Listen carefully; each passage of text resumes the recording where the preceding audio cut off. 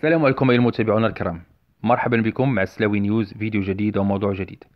موضوع الفيديو سينقلنا إلى المكسب الوطني للسكك الحديدية وبالضبط إلى مشروع الخط الفائق السرعة القنيطرة مراكش.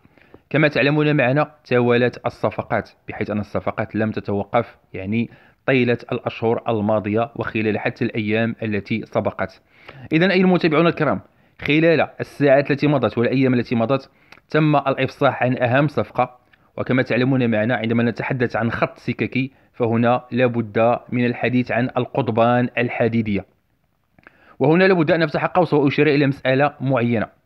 أن القضبان الحديدية المخصصة للخطوط الفائقة السرعة هي مختلفة كليا عن القضبان الحديدية المخصصة للخطوط الكلاسيكية. إذا هناك فرق شاسع ما بين قضبان الحديد التي يتم استعمالها للقطار الفائق السرعة والقضبان التي يتم استعمالها للقطارات الكلاسيكية.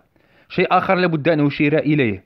هو أولا من أجل يعني استخراج أو من أجل الوصول إلى المرحلة النهائية مرحلة القضبان الحديدية المخصصة للقطار الفائق السرعة هناك عدة مراحل يمر منها يعني هذه السلسلة.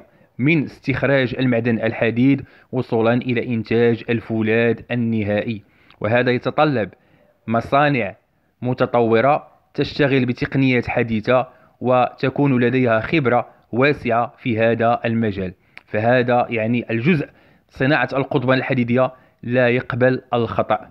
إذا أيها المتابعون الكرام كما قلنا لكم خلال الساعات الماضية تم الإفصاح عن الشركة التي نالت صفقة توريد القضبان الحديدية للمكتب الوطني للسكك الحديدية.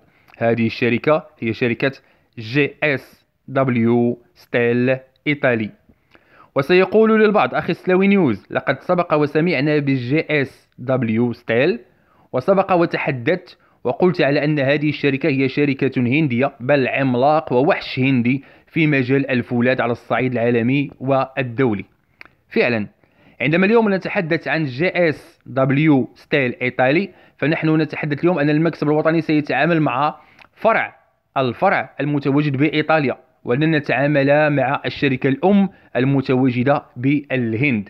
اذا هذه الشركة JSW Steel Italy فنحن هنا نتعامل مع إيطاليا ولن نتعامل مع الشركة الأم المتواجدة في الهند. شيء آخر قيمة الصفقة تقدر ب 560 مليون درهم ما يعادل تقريبا 51 مليون يورو.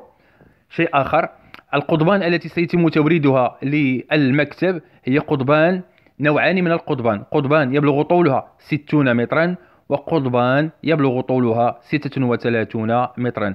أما فيما يخص الجودة وكل ما هو تقني فلا داعي لأن نقول لكم أن هناك معايير دولية وعالمية لا يمكن التنازل عنها أو التشكيك فيها. فيما يخص كيف ستكون المعاملة هذه هل هذه القضبان ستصنع في المغرب؟ أظن الخوت صراحة وبصدق أظن لا كما كان يعني معمول به مع الشركة الهندية التي كان الحديث عنها تقريبا هذه مدة ستة أشهر أو سبعة أشهر كان من المتوقع أن يتم توصيل القضبان يعني الشركة تنتج القضبان وتقوم بإيصالها حتى ميناء الدار البيضاء ومن ثم يتكفل المكتب الوطني للسكة بنقلها من الميناء صوب الأماكن المخصصة لتخزينها. إذا إذا هذا ما أردنا أن نشاركه معكم أيها المتابعون الكرام. أردنا فقط أن نخبركم أن شركة أن يعني صفقة توريد القضبان الحديدية للمكتب الوطني للسكة الحديدية قد تم الانتهاء منها. وبإذن المولى عز وجل كل الأمور تسير على أحسن ما يرام. اذا أيها المتابعون الكرام دائما وابدا كما تعودتم منا اللهم أعز الإسلام والمسلمين اللهم ارحم الشهداء اللهم احفظ دولتنا وشعبنا وملكنا من كل سوء من كل شر. كان معكم ستاوي نيوز من المملكة المغربية الشريفة. تحياتي.